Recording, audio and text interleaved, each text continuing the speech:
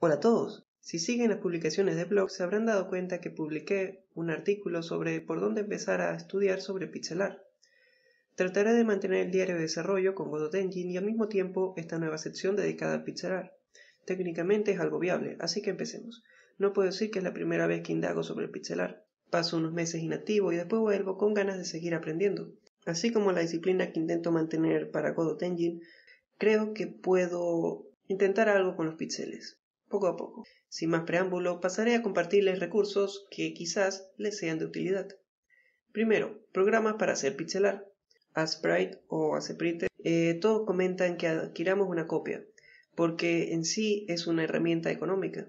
Lo que muchos no saben es que este software alguna vez fue libre, con una licencia GPL, por cuestiones quizás personales del creador, quien se queja del irrespeto que inflige la fundación del software libre con los desarrolladores, ese es su punto de vista, decidió dejar Sprite con unas tres licencias diferentes. Si no me equivoco, una de ellas es la MIT. Ustedes pueden acceder a su página de GitHub y seguir la guía de compilación de acuerdo a su sistema operativo. Y ya podrán tener su copia. Yo solo he podido compilarlo en diferentes distribuciones de New Linux. Cada una fue una experiencia diferente, déjame admitirlo. Si como yo eres usuario de este hermoso sistema, quizás te interese saber que tuve éxito cuando compilé tres veces en Manjaro y una única vez que fue sorprendente que el primer intento la compilación fuera perfecta en Deepin, la distro china. En otras distribuciones como Manjaro podía intentar hacer la guía, pero siempre daba unos errores, no sé por qué, y al final, después de intentar algunas veces, se podía instalar. Es probable que me vean como fanático, pero cuando Sprite dejó de ser completamente libre, unos desarrolladores decidieron tomar la última versión con GPL y actualizarla en otro repositorio, cambiando el nombre por Libre Sprite.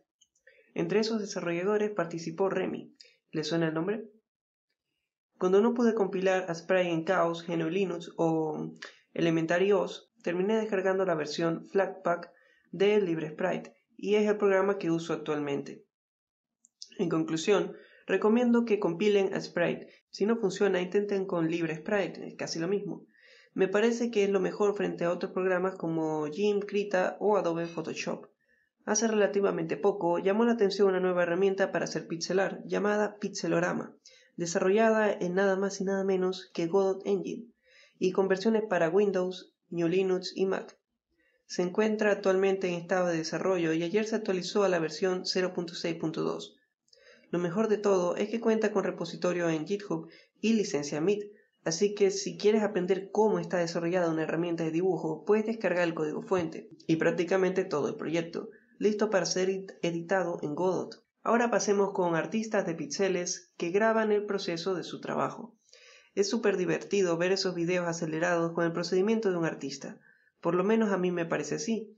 Entre esos canales está Luisuno, conocido como Ancimus. Por cierto, Godot Engine es su motor favorito y publicó hace poco el código fuente de un prototipo y una entrada para la Godot Will Jam. Tenemos también a Mort Dia Games y Octavi Navarro. El arte de este tipo es increíble. Conocí sus obras por medio de otros blogs en internet que hablaban sobre arte y apenas me voy enterando de que tiene un canal con el proceso de sus obras y es fantástico. Por último, con cariño, me encanta Untied Games el hombre detrás es muy amable y me donó cuatro assets de su autoría. Por si fuera poco, en diciembre rebajó al 75% sus assets y regaló uno muy bueno sobre unos ítems. Para cerrar con estos tips, eh, vamos con unos sitios web con recursos para aprender sobre pixelar. Y aquí no hay mucho para discutir, están los tutoriales del gran maestro Slinier, que tiene un blog dedicado a la publicación de tutoriales pixelar que vale oro.